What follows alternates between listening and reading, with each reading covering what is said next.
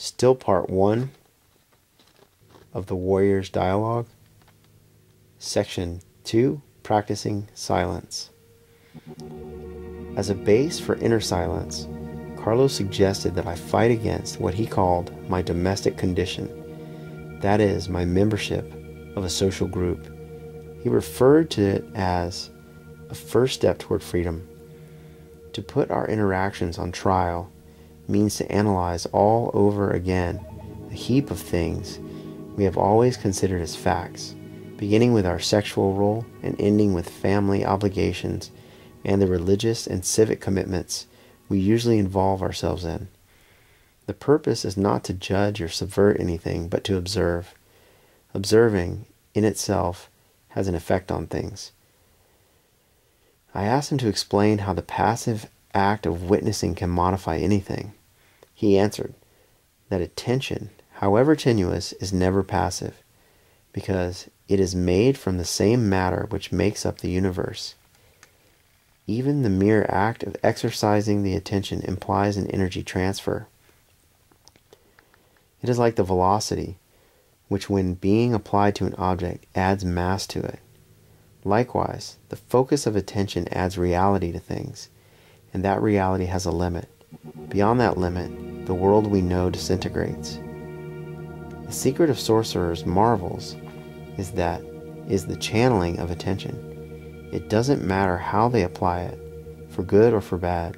What changes is the inattention, not the force of focus.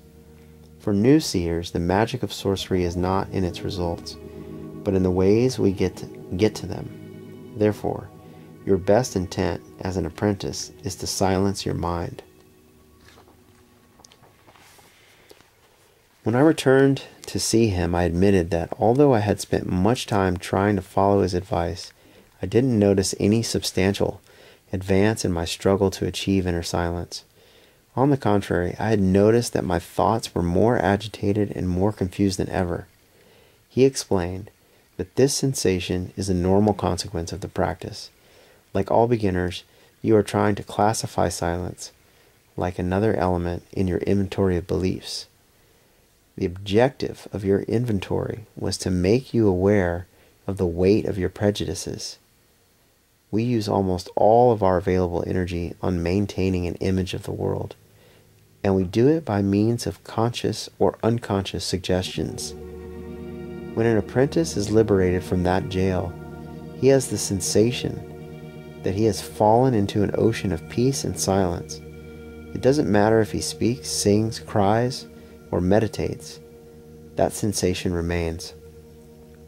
In the first stages of the path, it is very difficult to handle silence as a practice because as soon as we detect an absence of thoughts, a mischievous little voice congratulates us for it, and that automatically breaks the state. The problem happens because you confuse the objective of sorcerers with an ideal.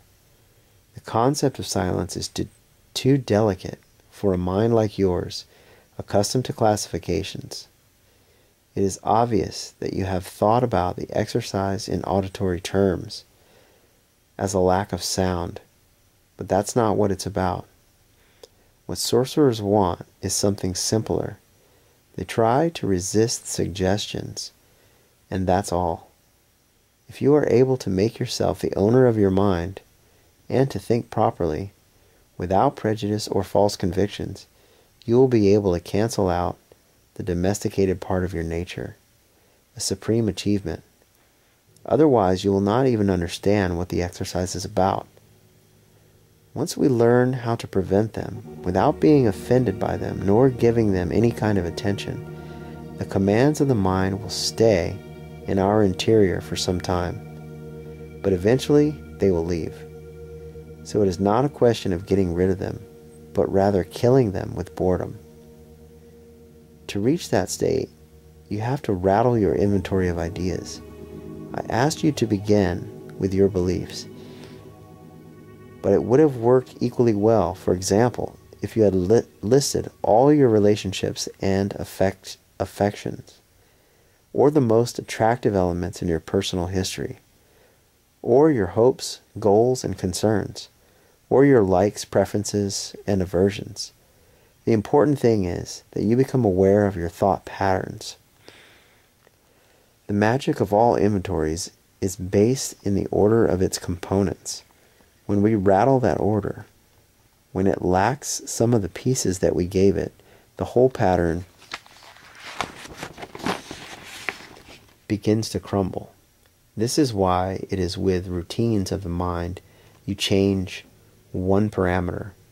Suddenly, there is an open door where it should be a wall, and that changes everything. The mind trembles.